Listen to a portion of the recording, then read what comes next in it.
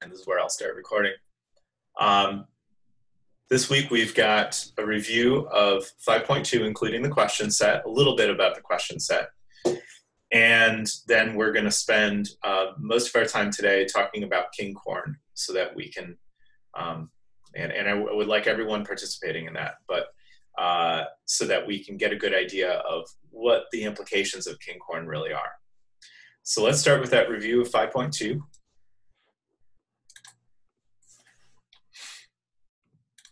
And we'll start with a brief overview of the lecture notes. Um, there are a few things that I want to make sure that we're, we're clear about.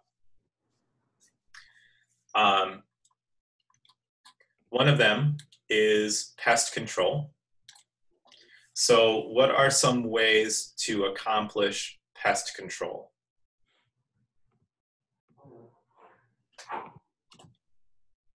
What are ways that pest control is done?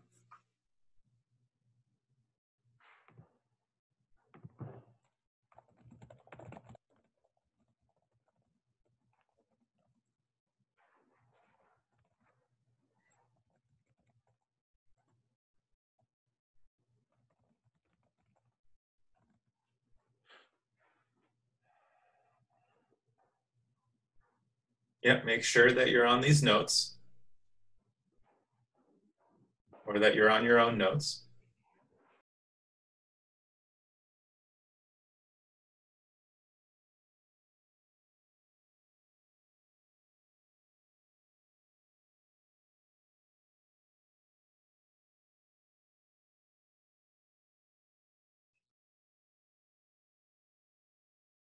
And I'm really looking for your participation because you know, Mr. Tout and I can talk all day about this stuff. We already have. But this is the part that we want to make sure that you guys understand. So what are some ways that farmers do pest control?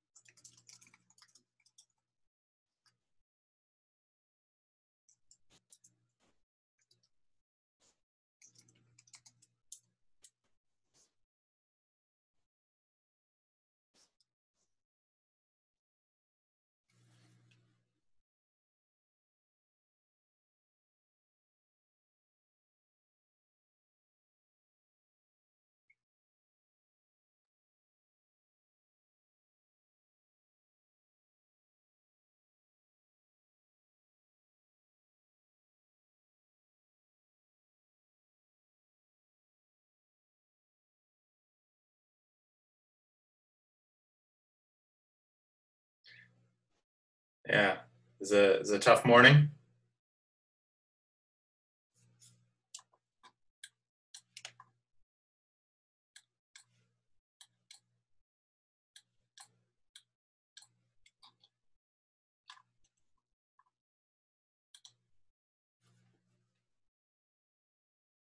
Hey, thank you.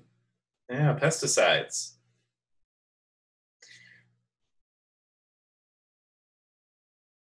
Oh, no problem. We're, this is not spelling class, so I don't think either of us are concerned about that part. We just want to make sure that you're, just want to make sure you're participating. That's the most important thing right now. Okay, so thank you, Dade. Um, yeah, so pest control is often done through pesticides. Pest control is often done through manual control meaning physically picking pests or removing them. Um, there are other biological methods of pest control. So sometimes you can get like ladybugs that'll eat aphids. Aphids can destroy um, all sorts of green leafy things. Um, you can also, also, gardeners like to get praying mantises to help them eat all sorts of smaller bugs in their garden. Um, so there's a lot of different ways to do pest control. Sometimes pest control, sometimes pest control is done chemically. Sometimes it's done manually, and sometimes it's done biologically. Okay. Um, there are also lots of different kinds of pollinators. What is a well-known pollinator? What is something that helps to pollinate plants?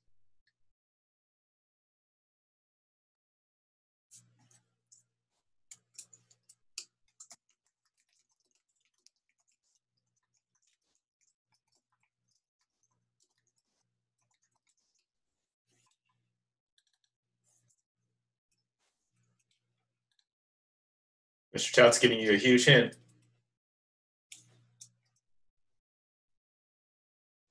Bees. Thank you. Yes, bees. And the that bees are responsible for pollinating something around like a third of our crops. Um, there are some plants that are self-pollinating.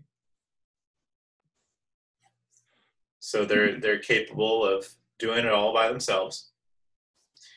Um, a lot of plants are pollinated by the rain, by the wind, in general, generally by physical conditions.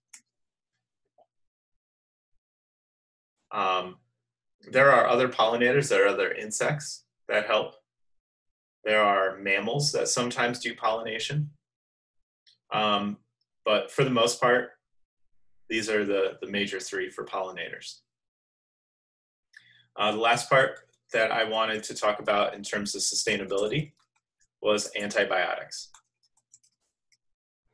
So this gets a lot of attention in the media, the use of antibiotics and hormones.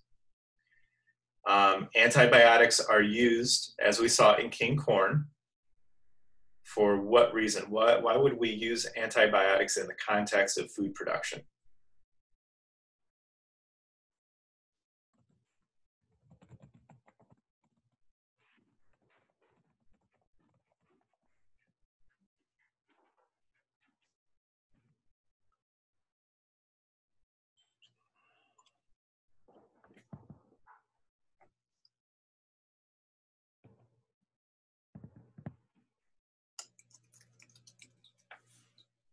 So Mr. Tout gave you cows. So what about them? Come on, people. Why why would cows need antibiotics? Why do we need antibiotics?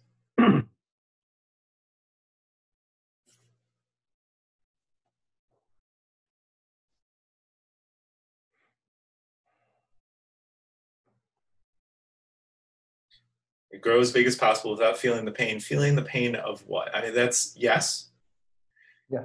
I agree. We're halfway there.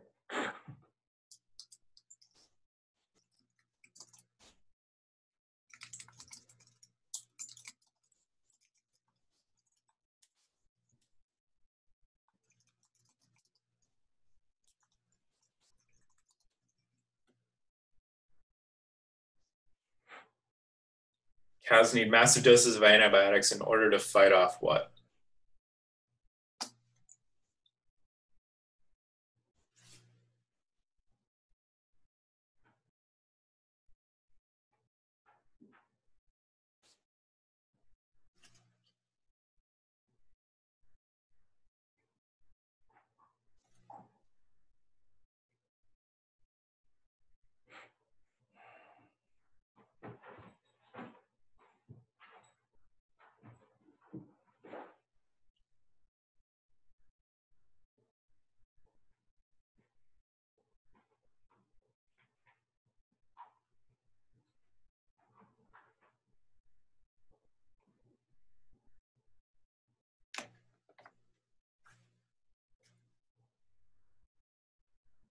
All right. Well, I'll I'll I'll end the pain here. Uh, cows need massive doses of antibiotics in order to fight off infections, right? Bacterial infections. I know you know that. I know you knew that, but just got to speak up. So um, that's why we have massive doses of antibiotics is in order to fight off infections in our own bodies.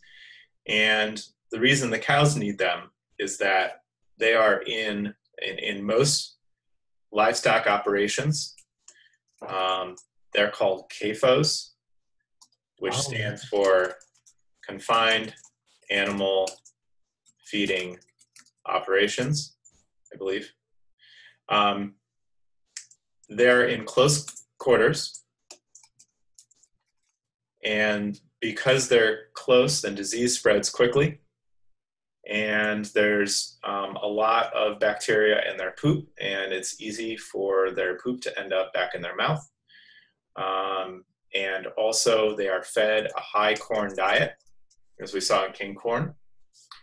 Because they're fed a high corn diet, what happens is there's a lot of sugar in there, and because there's a lot of simple sugars, a lot of simple carbohydrates, uh, then bacteria are easily able to reproduce in that sort of environment. It's not healthy it doesn't provide them with the, the normal nutrients. It makes them fat, but it also leaves them susceptible to infection. So they're given lots of antibiotics. When you eat beef or anything else that has been exposed to those antibiotics, in a lot of cases, um, those, those antibiotics either uh, pass through to you in some cases, but more likely than not, the antibiotic resistant bacteria uh, in a lot of cases are still present in that meat. And that's where we get these bacterial outbreaks that are particularly dangerous to humans because they are resistant to most antibiotics that we use. I'm so, going to, go ahead. I'm going to resist asking this as a question because it feels like we're all kind of just slowly warming up to class today. So I'm just going to say it as opposed to asking the question. But keep in mind right, that those antibiotics uh, wouldn't work for COVID 19 because COVID 19 is a virus, right? And viruses and bacteria are sort of the two main things we think of as germs, right? The word we use for germs are like something that causes a disease.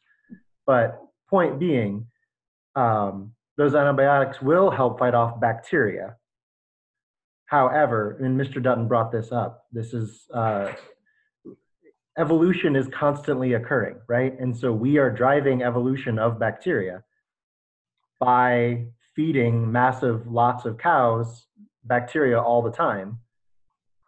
And we're literally evolving bacteria to be bacteria, to be antibiotic resistant. So uh, it's a problem. It's it, it's a huge problem, and antibiotic resistance is one of those that uh, is one of is is a major uh, is a major point of research for scientists who are afraid that that could be um, the next sort of epidemic. If, uh, yeah, and if I may, let me just see if I can find the quote. Give me a second. I know it's in here. Where did I hide that quote? So um, sustainability, guys, uh, was defined uh, in, back in 1987 uh, by is it Humboldt? I can't remember her name, but a person who led uh, the World Commission on Environmental and the Environment and Development. Sustainability is defined as meeting the needs of the present without compromising the ability of future generations to meet their own needs. So if we're if if what we're doing right now is producing antibiotic resistant bacteria we're sort of that that is by its very definition like uh, directly hindering future generations ability to protect themselves and their own cattle. Yep.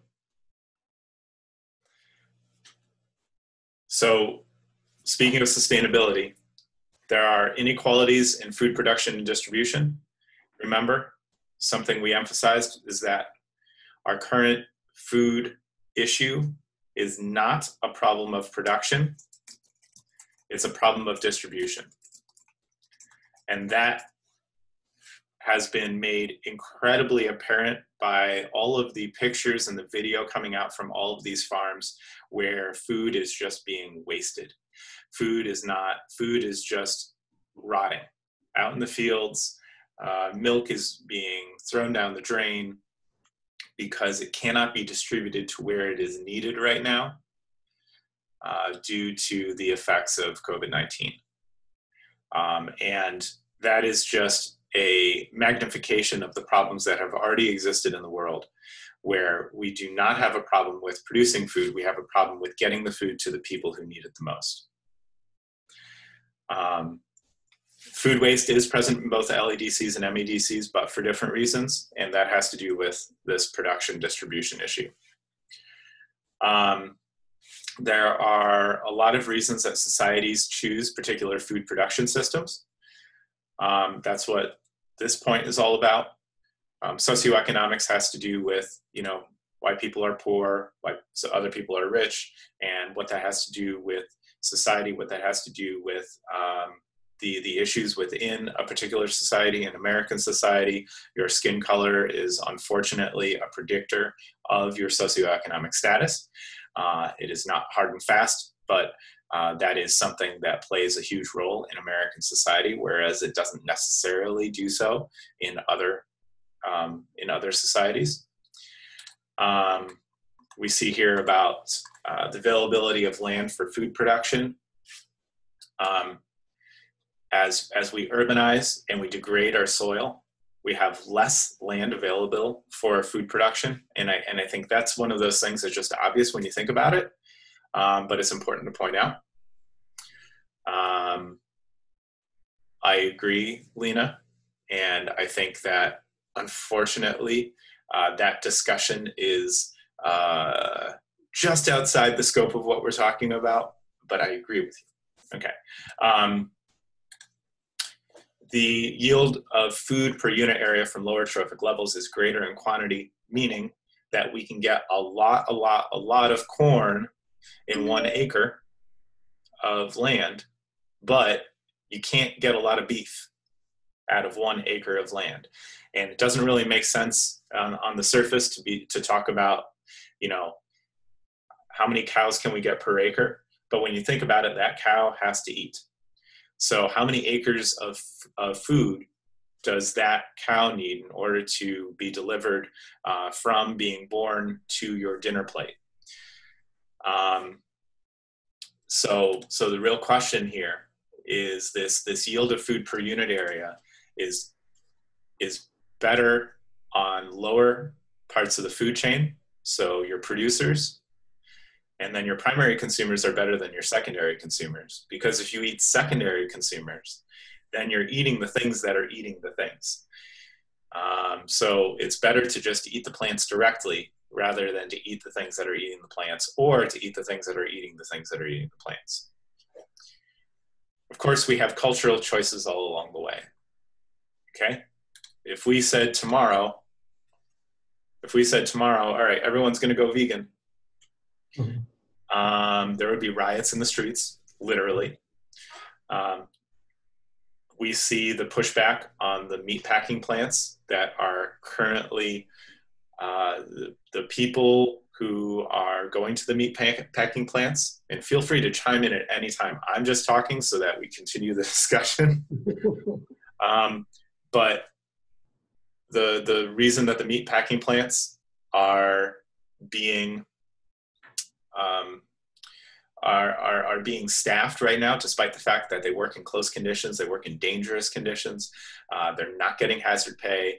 And there are a few instances of, of so, and you're probably going here, I'm sorry to interrupt, but go there's. A, there's a few instances of meatpacking plants where there's been huge coronavirus outbreaks, like hundreds of workers getting sick. So um, they are very much putting their lives on the line we as a culture, we as a society have determined that meat is so important that it is worth people risking their lives. Um, so, so that is that is a cultural choice that we as a society, we as a culture have made. Um,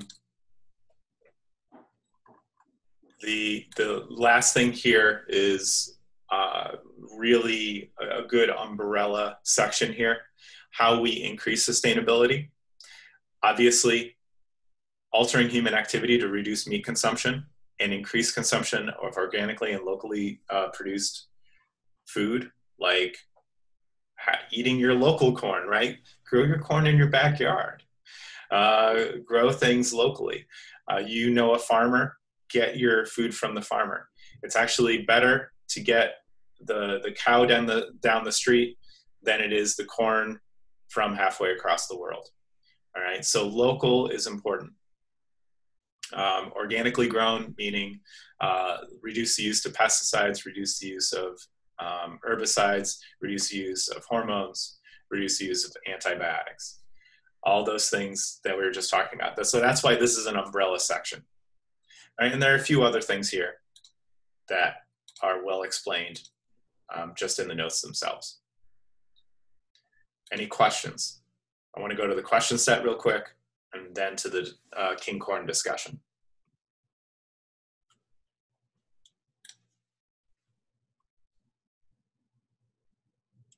All right.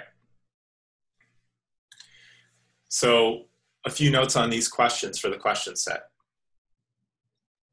Number one, discuss the relationship between the economic development of countries and the sustainability of their food production. So economic development, we're talking about MEDCs and LEDCs. This is worth four marks. So two of those marks should be talking about MEDCs. Two of those marks should be talking about LEDCs. Within each economically developed area, MEDC, LEDC, you should talk about how sustainable their food production is.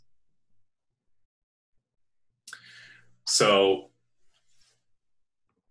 so food production is sustainable when, as Mr. Tout just said, when it's something that future generations can also do. Okay, so talking about how I, I would get those two marks through talking about how an MEDC can have uh, sustainable food production and how it can be unsustainable. Same thing with LEDCs. How is it that it's sustainable, their food production? How is it that it can be unsustainable? Um, outline the environmental impact of two named food production systems. So, what is one? Let's name some food production systems. This is a very high level question. All right, this doesn't mean, you know, uh, farmers Farmer Joe's uh, sausage making plant. All right, it's not that specific. What is a general food production system?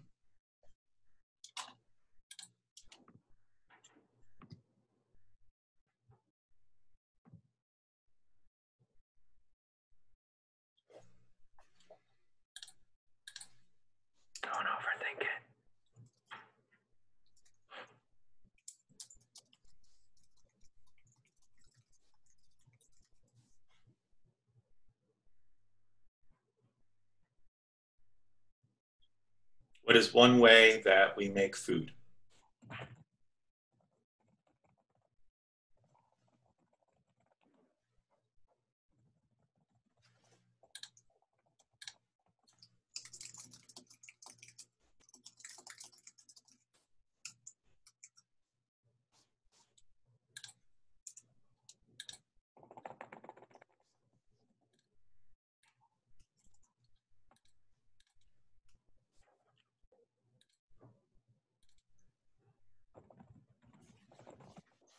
Okay, cows. So livestock.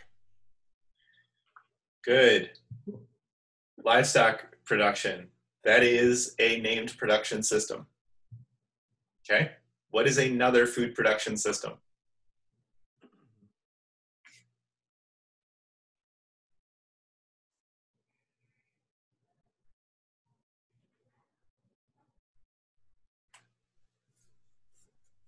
Excellent harvesting crops, so farming. And Ken, uh, just to push you a little bit further, guys, um, we've talked about several types of farming way back at the beginning of this chapter, right? If you were going to divide, we, we divided it into three different types of, of farming, but if you were going to just divide harvesting crops into two types of harvesting crops, what do you think, where do you think we, we're going with this? Where's my mind going?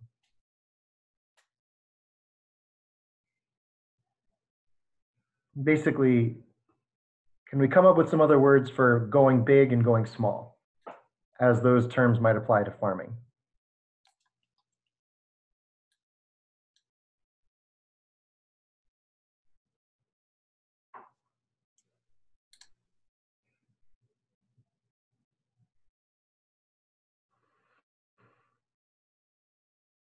Sigh.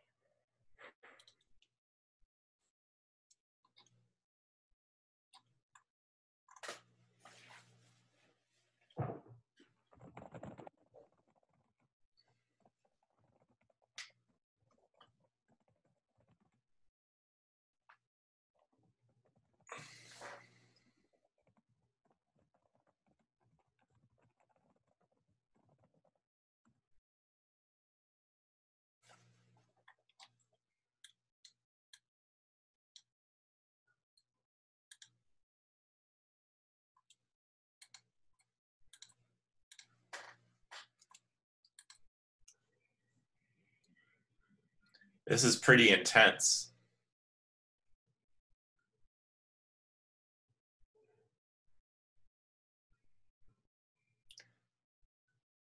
This is pretty. Okay. Yeah, that, that would work. I like it, Leah. So subsistence and commercial, um, those are even like the next step.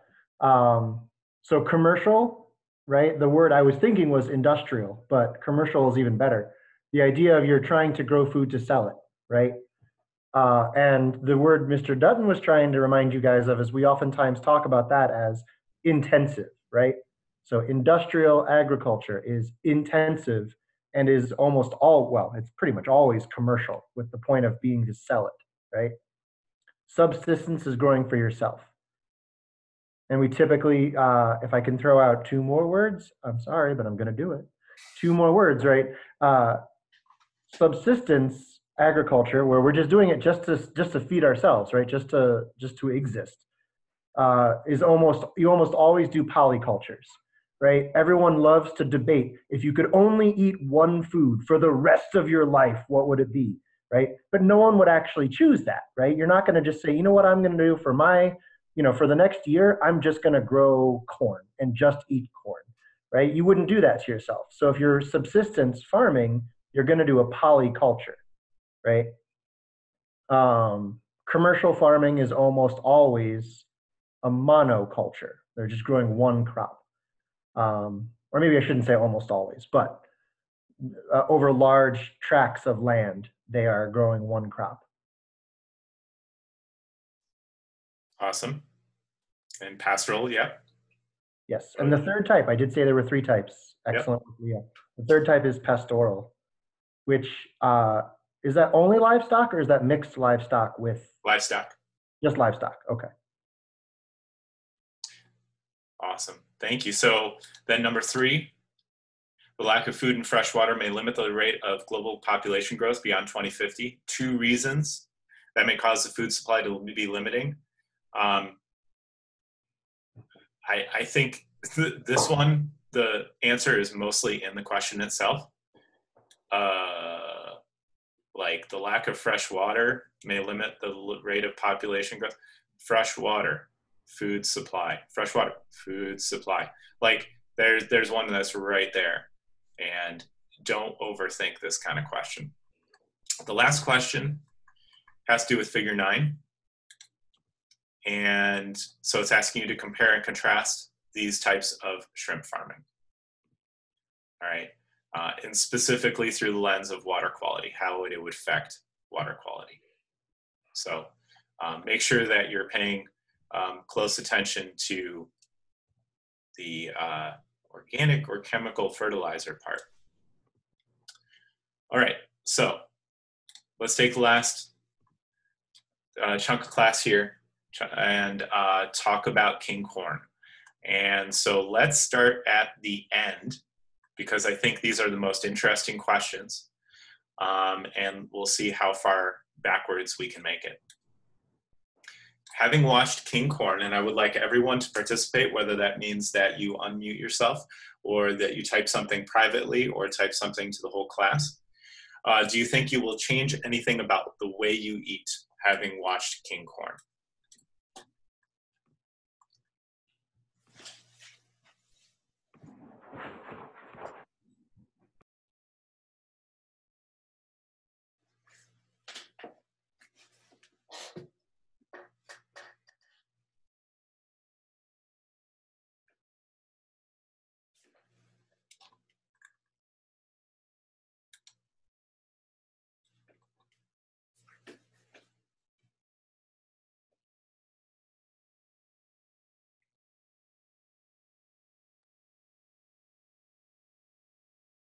Are you all going to run out and grab a burger?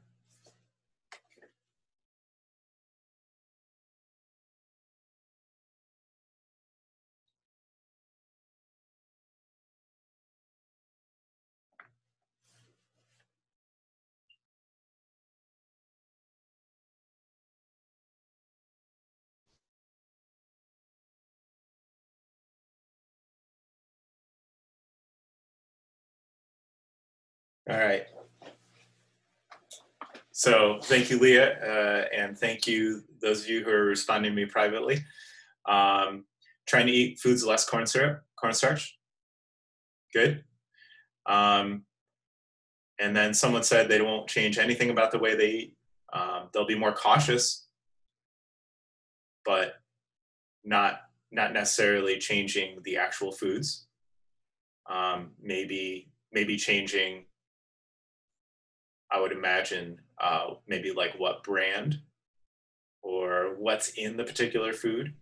Maybe you still eat the burger, but the burger is coming from a grass-fed source versus a corn-fed source.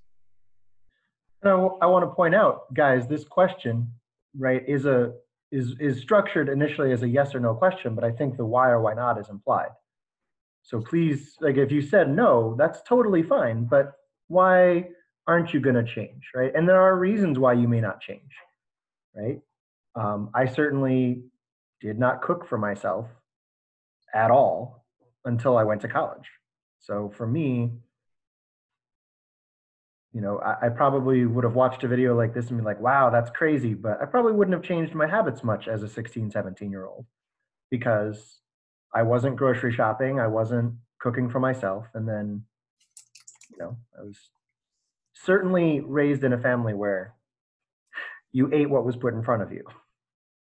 I did not have, there was no choice about that. So, uh, but you know, you can say that and you still could reflect on what you might change when you have more agency in what you eat.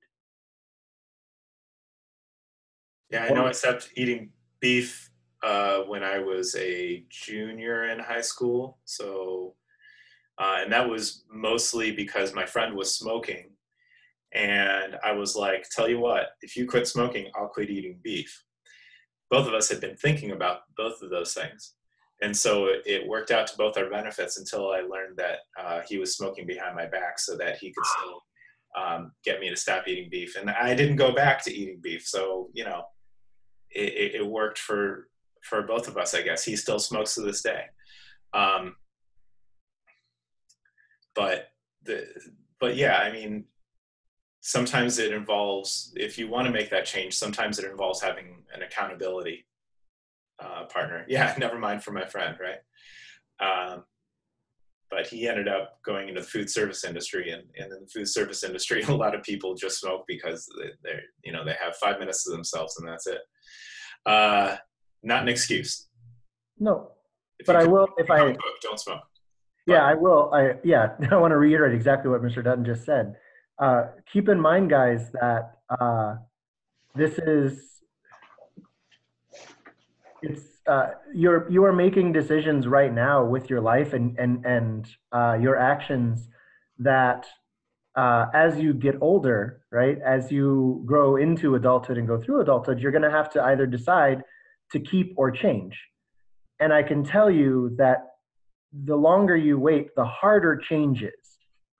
Right? So if you have sort of this idea of like, oh yeah, I'm going to smoke for now and then I'll, I'll quit smoking later when, you know, when I don't feel like, it, you know, it's a big deal anymore to try to smoke with my friends. At that point, it's really, really difficult. And I have several friends who, you know, who smoke to this day, who I remember in college were saying, oh yeah, I'm just, you know, we're doing it now because it's, I want to look cool or I'm trying to get, you know, this girl or this guy or whatever. But, um, it's it's not as simple once you form a habit right? It's it's very difficult to change habits. So do think about like if you're if you're doing something now that you think would be silly to continue you may want to just consider taking your own advice right now. And for instance baking are you baking? Not baking but are you uh are those no fry fries no oil? You're you're muted, Leah. Sorry, Leah. Yeah. Not not on Zoom, but on your device. Those look very tasty and healthy. So, speaking of tasty, healthy, or otherwise inspiring, number 10, did anything in this film surprise you? Did anything disturb you?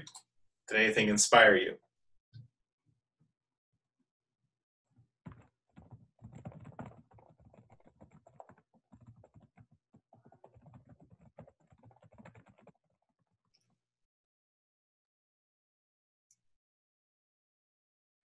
I know I was surprised at the end when they bought the acre just so that they could keep it as grass, so they could not plant it as corn. Yeah, that was cool. And and surprising yes. How unhealthy yes. Yeah. Yeah they can live have, for 140 days on corn that's it. I have already told like three different family members including my wife about the cows in that movie. Um the disturbing that they're kept in confinement and eating corn just to get them bigger. Yeah. Yeah, totally. Totally Akia. I like that. Yeah. Nice. And, and there are a lot of places where you can get your grass-fed beef, right? Um, just be wary of that because sometimes that comes with a little asterisk. Yes, it's grass-fed for a certain amount of time, and then it's corn-fed uh, or grass is 80% of their diet or something and and that's that's not actually grass fed. Um, there are a lot of local farmers who pride themselves on having completely grass fed cattle. So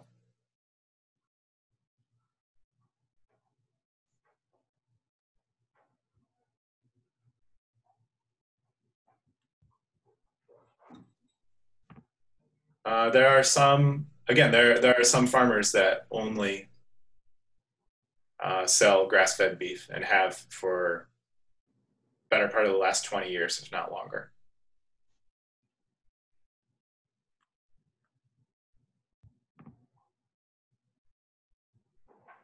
Um, but it's hard, it's hard to find and it's more expensive. And, and that's ultimately the bottom line. This is why farmers choose to have uh, corn-fed beef is because it's it's cheap because of the corn subsidies. And so that's where we as a society have prioritized. We prioritize cheap corn so that we can make cheap beef so that we can make cheap high fructose corn syrup so that we can have cheap calories. Uh, so there's there's it's it all comes down to money. It all comes down to economics um, I'm going to skip asking Kurt or Ian a question um, unless you have something. But in, in my experience, very few students have a specific question for them. But feel free to post a question for Kurt or Ian, and we can talk about that real quick. Um, I think this is where I want to leave off. What recommendations would you make to preserve or improve public health?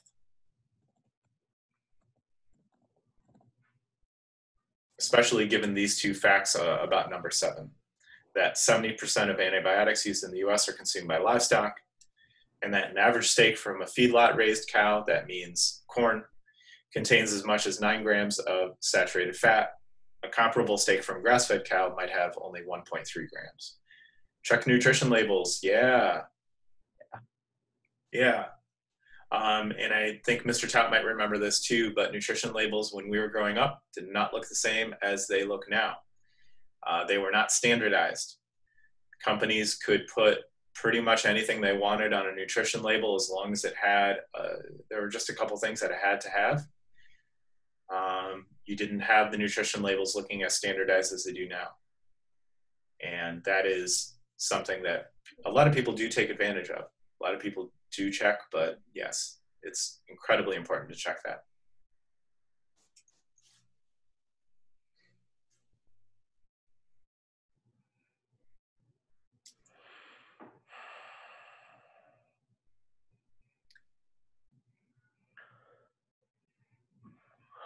So specifically thinking about the antibiotics and the relative amount of saturated fat, what recommendations would you make?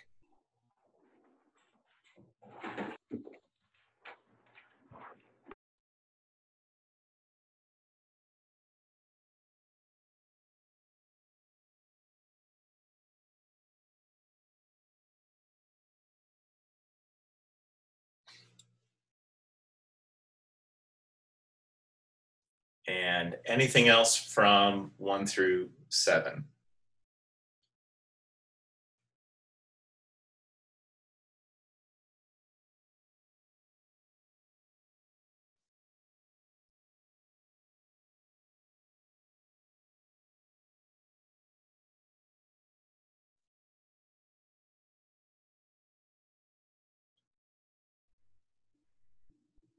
If I can interrupt all the discussion for a second and uh, um, and throw this out there. This documentary was made in 2007. Um, a year later, the uh, Earl Butz, the guy who was interviewed, he passed. Um, he was 99 and looking pretty good for a 99 year old in that documentary. Uh, and he did not advocate actually changing any of the policy, right? He, he wanted the same policy. The same policy still exists 13 years later after this was made. Our policies have not changed, the issues haven't changed. Even though it's a 13 year old movie, these issues are still very much present today. So, what do you think should change? if if there's so much this is this is the time for things to change. Our food system is in a serious shock right now because of the health crisis. So what do you think what do you think should change? If it hasn't changed in 50 60 years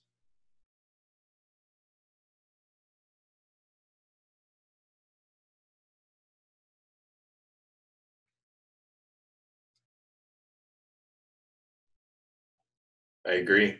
Healthier options, lower income neighborhoods, often called food deserts.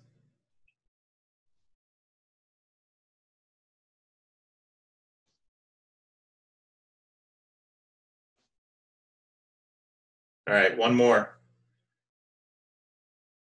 Someone lead us out. Take us home. You got this, people.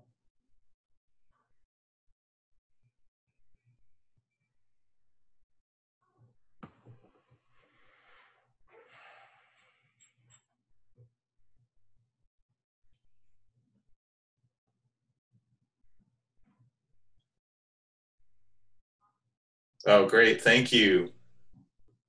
All right. I think that was private, but yeah, absolutely making that change in in leadership we'll say it that way making sure that our our leaders are responding to what people actually want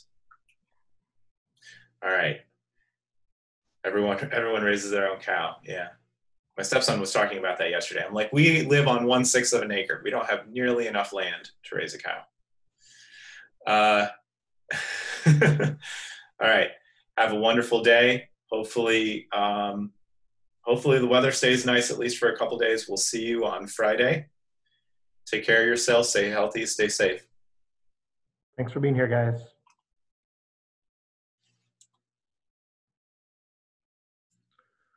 Mr. Dutton, I'm going to stay on.